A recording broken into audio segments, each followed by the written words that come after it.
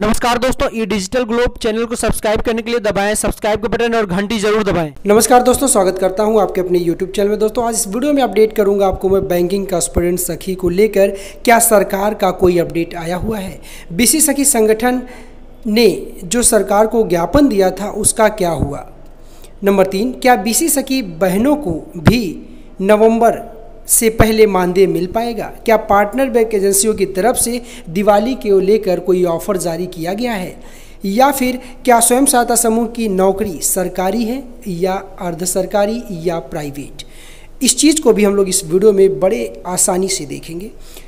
National rural livelihood mission क्या काम करती है? महिलाओं को आत्मनिर्भर बनाने के लिए क्या तरीका होता है और एसआरएलएम और एनआरएलएम में क्या अंतर होता है, इन सभी चीज़ों को हम लोग इस वीडियो में बिल्कुल डिटेल में जानेंगे। तो दोस्तों, उम्मीद करूँगा इस वीडियो को आप लोग अंत तक ज़रूर देखेंगे, क्योंकि इस वीडियो में मैं बहुत सारे ऐसे अपडेट बताने वाला हूँ, जो अपडेट ज़्यादातर लोग नहीं जानते हैं। उम्मीद करूँगा इस वीडियो को आप लोग अंत तक ज़रूर देखेंगे, क्योंकि इस वीडियो में मैं हर एक चीज़ को स्टेप बाय स्टेप बताने वाला हूँ।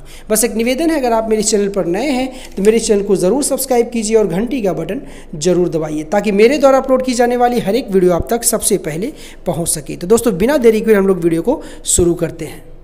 तो दोस्तों, जहाँ तक हम लोग बात करते हैं बैंकिंग कस्टमर सखी को लेकर तो बैंकिंग कस्टमर सखी लगातार धरने पे धरने प्रदर्शन करते हुए सरकार को ये जारी करने पर मजबूर करने जा रही हैं कि उनके मानदेय को लेकर सरकार क्या निर्णय लेने जा रही है? आने वाले समय में उनका मानदेय क्या एक नवंबर तक मिलेगा? इस चीज़ के बारे में मैंने जो भी जानकारी हासिल की है, मैं वो जानकारी आपको बताना चाहता हूँ। दोस्तों, जहाँ तक सवाल आता बैंकिंग के हस्बैंड सखी को लेकर जो बैंकिंग ढांचागत क्रम को काफ़ी मजबूती प्रदान कर रही हैं और कई जगह बैंकिंग सखियों को प्रोत्साहित भी किया जा रहा है। तो जहाँ तक मैं जानता हूँ, आने वाले एक नवंबर से पहले, यानी दीपावली से पहले, बीसी सखी बहनों के साथ साथ सभी मनरेगा में आंगनबाड़ी आशा बहनें और रोज़गार सेवकों के मानदेय मिल जाएँगे। क्या बीसी सकी बहनों को भी आने वाले समय में यात्रा भत्ता दिया जाएगा? जी हाँ बिल्कुल यात्रा भत्ता दिया जाएगा, क्योंकि जिस तरीके से आशा बहनों और आंगनबाड़ी बहनों को दिया जाता, ठीक उसी तरीके से यात्रा भत्ता भी दिए जाने का प्रावधान है, ऐसा मुझे लगता है। क्या पार्टनर बैंक एजेंसियों की तरफ़ से दिवाली का कुछ ऑफ़र दिया जाएगा कमीशन को लेके? तो जहाँ तक मेरा अनुमान है, आने वाले समय में बिना सरकारी आदेश के कोई भी पार्टनर बैंक एजेंसी कोई भी कमीशन में बदलाव नहीं करेगी। दोस्तों, अगर हम लोग बात करते हैं रोज़गार को लेके को किस तरीके से स्वयं सहायता समूह की महिलाएँ आने वाले समय में अपने गाँव घर को काफ़ी अच्छे तरीके से चलाती हैं और आजीविका को काफ़ी अच्छे से निर्वहन करती हैं, ताकि उनके बच्चे भी आने वाले समय में किस तरीके से अपनी आजीविका चला सकें और किस तरीके से शिक्षित हो सकें, ताकि आने वाले समय में वो देश का नाम रोशन करें।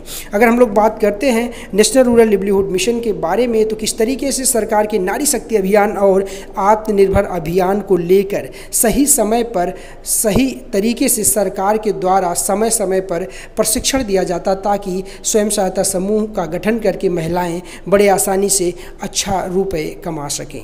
अगर हम लोग बात करते हैं एसआरएलएम के बारे में तो SRLM state rural livelihood mission राज्य की ग्रामीण आजीविका मिशन इसका नाम है। एनआरएलएम और एसआरएलएम में बस राज्य और केंद्र का अंतर होता है। किस तरीके से आने वाले समय में सरकार इन दोनों संगठनों के तहत स्वयं सहायता समूह की महिलाओं को प्रशिक्षित करता है और समय समय पर अपडेट करता है, किस तरीके से आप स्वयं सहायता समूह का गठन कर बड़े आसानी से हज़ारों रुपए, लाखों रुपए और स्वरोजगार कर सकते हैं ताकि आने वाले समय में गाँव घर को काफ़ी मजबूती मिले। और किस तरीके से एनआरएलएम एक केंद्र प्रायोजित योजना है जो दिल्ली और चंडीगढ़ के अलावा सभी राज्यों तथा संघ राज्य क्षेत्रों में कार्यान्वित की जाती है। मिशन के वित्त पोषण को कुछ ऐसे आधार केंद्र और राज्य सरकारों में बांटे गए हैं, जैसे कि जो भी पूर्वोत्तर के राज्य अरुणाचल प्रदेश, असम, मणिपुर, मेघालय, मिजोरम, नागालैंड, त्रिपुरा और सिक्किम। उसमें सरकार, केंद्र सरकार 90 परसेंट पैसे देती है, राज्य सरकार 10 परसेंट देती है। ठीक, उसी तरीके से अन्य सभी राज्य में केंद्र सरकार पचहत्तर परसेंट देती है और राज्य सरकार पच्चीस परसेंट देती है। अगर हम लोग संघ राज्य क्षेत्र की बात करें, जैसे कि जो हमारा दिल्ली है और चंडीगढ़ है तो वहाँ पर सौ प्रतिशत जो हिस्सा होता है वो केंद्र सरकार का ही होता है। तो एक तरीके से हम लोग अगर जानना चाहते हैं स्वयं सहायता समूह की नौकर, नौकरी सरकारी है या प्राइवेट, इसके तहत जितनी भी योजनाएँ आती हैं, वो सरकार के द्वारा क्रियान्वित की जाती है। उसमें स्वयं सहायता समूह अपना श्रम लगाकर उस योजना को सफल बनाते तो एक तरीके से आप इन योजनाओं को अर्ध सरकारी जान सकते हैं। तो दोस्तों, जैसे कि मैंने आपको बताया, बीसी सखी बहनों का प्लान था कि मुख्यमंत्री जी को ज्ञापन देना लखनऊ में जाकर, हालाँकि जो उन्होंने ज्ञापन गोरखपुर में दिया था, बीसी सखी बहनों के संगठन ने, उस ज्ञापन पर अभी तक कोई भी निर्णय नहीं आ चुका क्योंकि सरकार ने कोई भी शासनादेश उत्तर प्रदेश बैंकिंग कॉस्पेंट सखी को लेकर जारी नहीं किया है।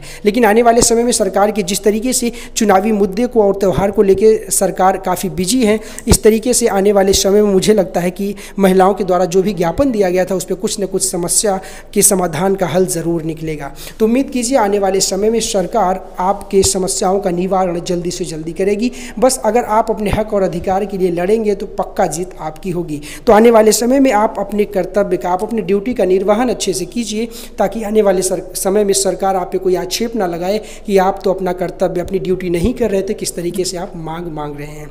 तो इसी चीज़ के साथ मैं इस वीडियो को यहाँ तक आपको अपडेट कर रहा हूँ ताकि आने वाले समय में आप हर एक समस्या से वाकिफ़ हो सकें, हर एक शासनादेश से परिचित हो सकें। इसी के साथ मैं इस वीडियो को अभी यहाँ तक, यहाँ पर रोकता हूँ। बस उम्मीद करूँगा अगर आप मेरे चैनल पर नए हैं, मेरे चैनल को ज़रूर सब्सक्राइब कीजिए और घंटी का बटन ज़रूर दबाइए ताकि मेरे द्वारा अपलोड की जाने वाली हर एक वीडियो आप तक सबसे पहले पहुँच सके। दोस्तों, वीडियो को अंत तक बहुत बहुत शुक्रिया, धन्यवाद। जय हिंद, वंदे